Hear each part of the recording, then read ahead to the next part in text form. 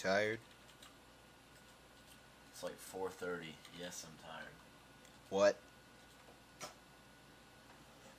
I mean, no, I'm not tired at all. That's what I thought. I'm working on the adventure log system, which is a way for uh, the engine to display useful information to the player without being the the text box for conversations. Um, actually, I'll show you. Let me execute my build. Hold on, let me make sure it compiles. Yeah, watch it crash.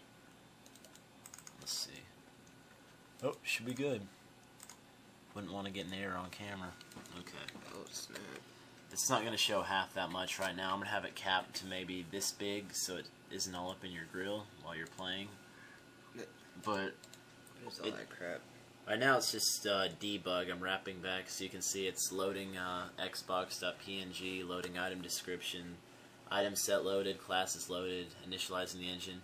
But it's going to show things like, let's say you get an item, it'll be like you've obtained this, or you get money, you know, you get $400, or if you get damaged, you take this much damage. It'll also be like uh, the combat log. Uh, let's say you level up, it'll it just displays useful text in game. But right now, the uh, debug singleton that I was talking about in uh, a video a long time ago that we used for debug output, I just wrapped it back to this box. So you can, when you print something from Lua, for example. Let me see if I use this heart. Actually, I think Peter messed that up. Probably, but whatever. See, executing star.lua. There's a Lua error trying to add an invalid item because Peter fucked it up. Then adding item number four at this location. Word wrap isn't working right now, so I can go here. I got the item that it added. Yeah, Yeah, I'm working on that. Wow, that's pretty tight. And uh, there's the mini map that I was working on too, That's sweet. which is So what it go, show solids? yeah, it just it's uh, draws pixels for the uh, collision layer. That's cool. That's pretty much how it works. Yup. Sweet. So Peter, how's it going? Well, I've got all my PMS issues worked out now. Oh really? Your vagina no longer bleeds. Yep. All right, what are we looking at? Now, this is the st- a star here.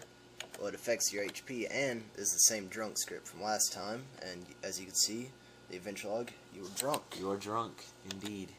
And with the heart here, it says HP down. You see the HP. My uh, beautiful HP bars. Check it out. Check it out. Watch it. Very Oh, nice. oh, oh! It gets out of your way.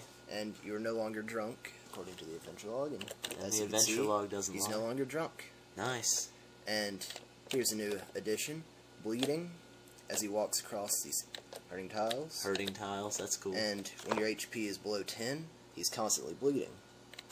well, that's a bit of blood. Woo! Here's the What's healing going tile on? we've made. So that's healing you. Yep.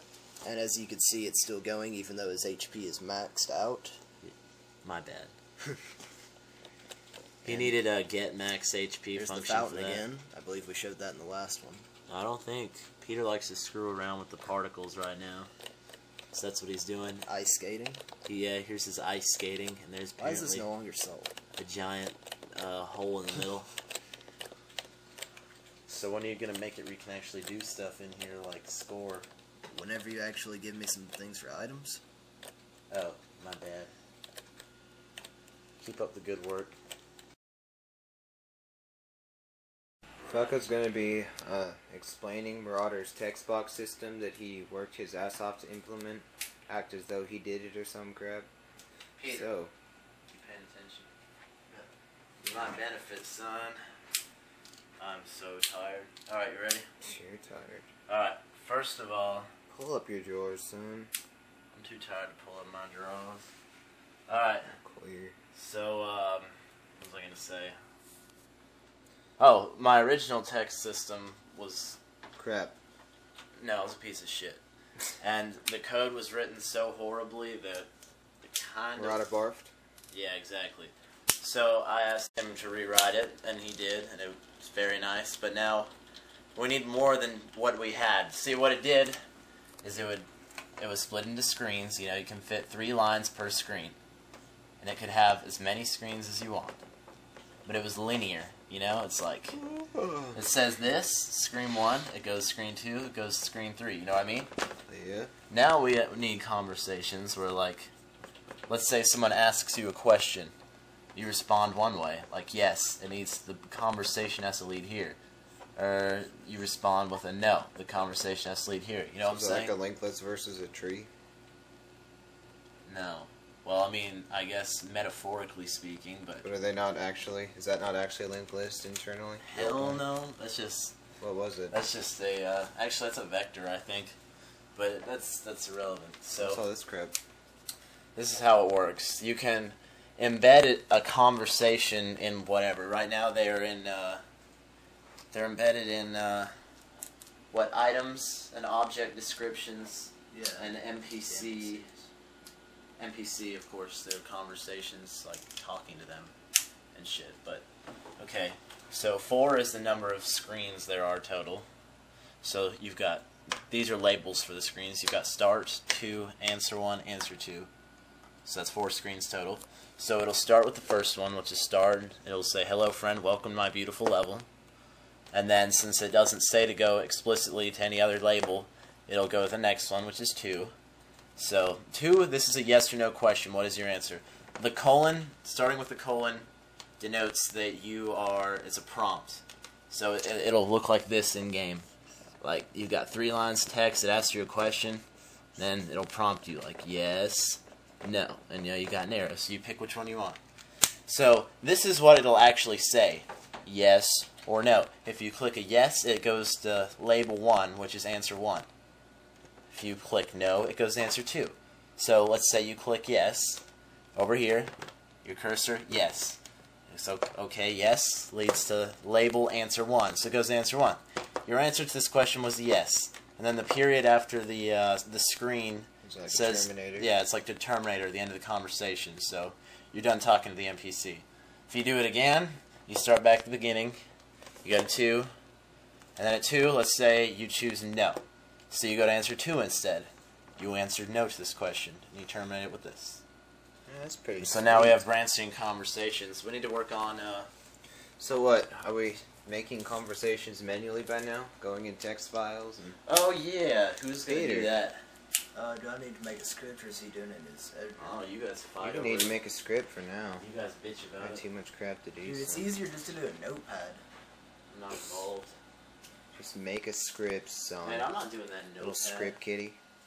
It's easier to do a notepad than for me to make a script and you do it with a command prompt.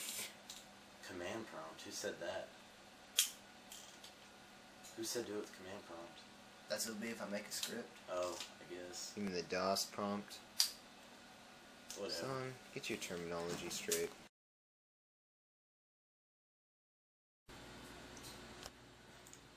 Okay, so Falco is a dumbass, That's a great way to start a conversation.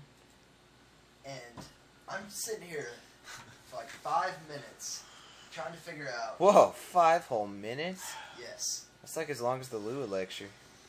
I know.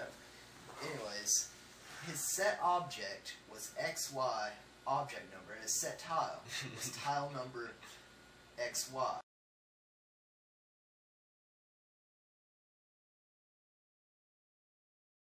Wait, what? And I'm sitting here wondering why it's saying I'm trying to set it to an invalid tile the entire time. And I'm wondering why it has the wrong Y. Well, You is dumb as hell. you is dumb as hell. How did you not know that? Okay, and you posted on the forums that it was XY tile. Oh, I did. Yes. Oh shit.